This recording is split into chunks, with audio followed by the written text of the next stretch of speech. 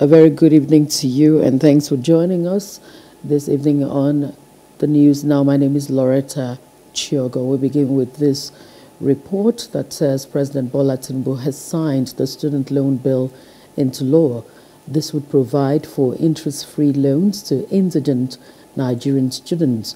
This is in line with his campaign promise to ensure greater access to higher education in the country by all. The student loan bill was sponsored by the former Speaker of the House of Representatives, Femi Gbajabiamila, in 2019.